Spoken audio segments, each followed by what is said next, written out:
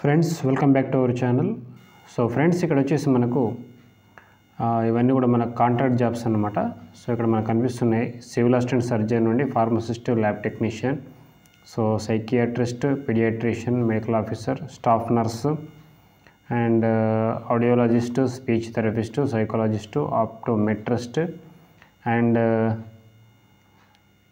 so early investigation cum special educator and next social worker lab technician dental technician and so DIC manager support staff so ఇవన్నీ కూడా మనకు uh, outsourcing లేదా contract బేస్లో అయితే మనకు తీసుకుంటున్నారండి. So దీంట్లో వచ్చేసి ఎస్ఎస్సి నుండి ఆ పైన మనకు ఆ రిక్వైర్డ్ క్వాలిఫికేషన్స్ అయితే వేరియస్ విడివిడిగా మనకు కనిపిస్తున్నాయి.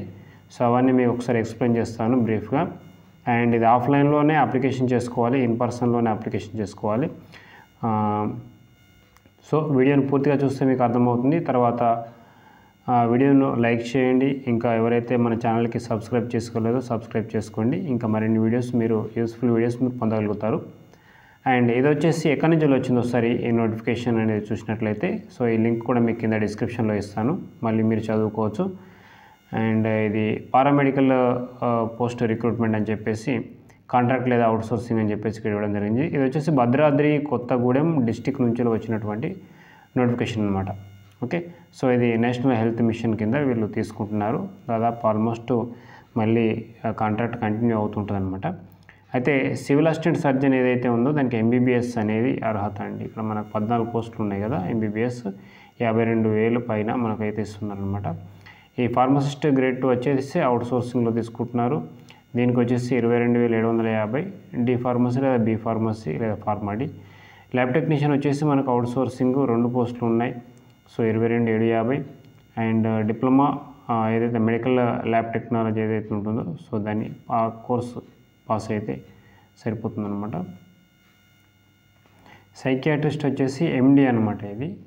పిడియాట్రిషియన్ వచ్చేసి మనకు ఈ రెండు కూడా స్పెషల్ కేటగిరీస్ అనమాట అందుకే లక్ష ముప్పై ఇది లక్ష రూపాయలు ఉన్నది ఈ ఎంబీబీఎస్ వాళ్ళకైతే మళ్ళీ కాంట్రాక్ట్ జాబ్ మూడు పోస్టులు అయితే ఉన్నాయి ఇవి యాభై రెండు వేలు అనమాట స్టాఫ్ నర్స్ వచ్చేసి మనకు ఐదు పోస్టులు అయితే ఉన్నాయండి. ఇది ఇరవై తొమ్మిది వేల తొమ్మిది వందలు. సో జిఎన్ఎం లేదా బీఎస్సీ నర్సింగ్ పాస్ అయి ఉండాలి.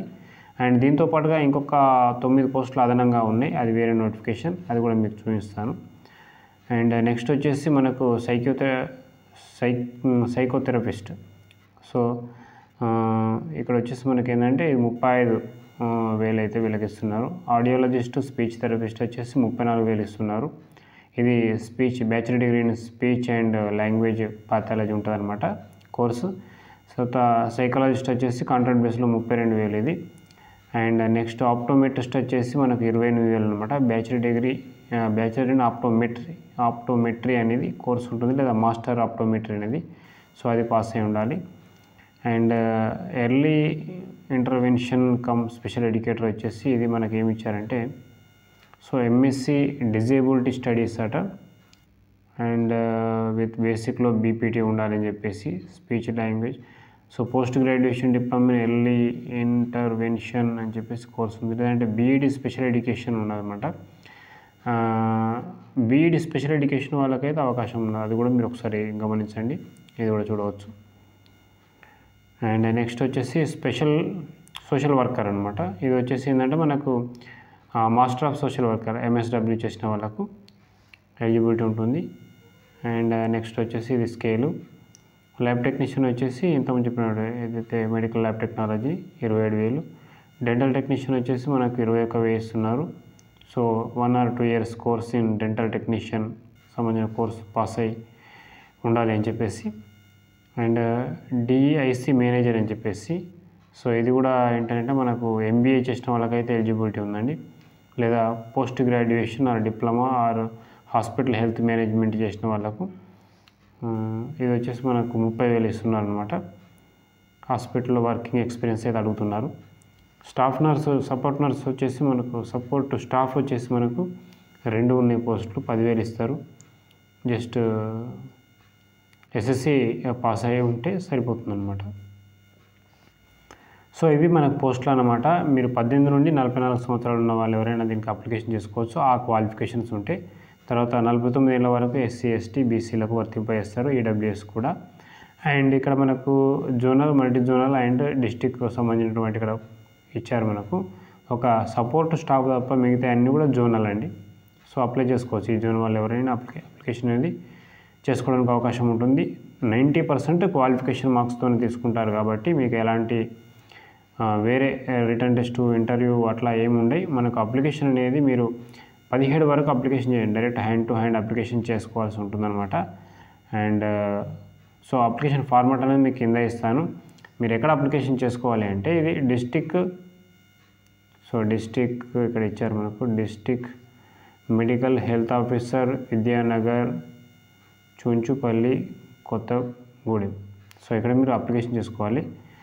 Uh, మీకు లింక్ ఇస్తాను కాబట్టి మీరు అందులో చూసుకోవచ్చు అనమాట అండ్ ఇవి రిక్వైర్డ్ డాక్యుమెంట్స్. అండ్ క్వాలిఫికేషన్స్ ఏమి ఉంటాయి అవి పెట్టేసేయండి మీరు. సో ఇక్కడ మీకు కనిపిస్తున్నాయి కదా. సో ఇదే అనమాట లాస్ట్ డేట్ అయితే మనకు ఉన్నదండి ఇంకా. పద్నాలుగు నుండి పదిహేడు వరకు తీసుకుంటున్నారు. అంటే రేపటి నుండి మీరు అప్లికేషన్ స్టార్ట్ అవుతుంది. పదిహేడు వరకు తీసుకుంటారు. ఇంట్రెస్టెడ్ క్యాండిడేట్స్ ఎవరైనా అవసరం ఉంటే చూసుకోండి. ఎందుకంటే కాంట్రాక్ట్ పోస్టులు కూడా ఉన్నాయి ఇందులో మనకు. సో అవుట్ సోర్సింగ్ అని కాదు కాంట్రాక్ట్ బేస్లో ఉన్నాయి కాబట్టి కంటిన్యూ ఉంటుంది. మీకు సో అది ఒకసారి గమనించి మీరు అప్లికేషన్ చేసుకోవచ్చు అనమాట సో ఇదే అనమాట ఈ వీడియో ఇన్ఫర్మేషన్ వీడియోని చూస్తున్న వారు లైక్ చేయండి అండ్ సపోర్ట్ చేయండి. నెక్స్ట్ మరొక వీడియోలో మళ్ళీ కలుసుకుందాం. అయితే ఈ ఈ దీనికి సంబంధించిన లింక్స్ అన్ని డిస్క్రిప్షన్లో మీకు ఇవ్వడం జరుగుతుంది అనమాట విత్ అప్లికేషన్ ఫామ్తో సహా. And thank you. Thank you for watching. Next మరొక వీడియోలో కలుసుకుందాం.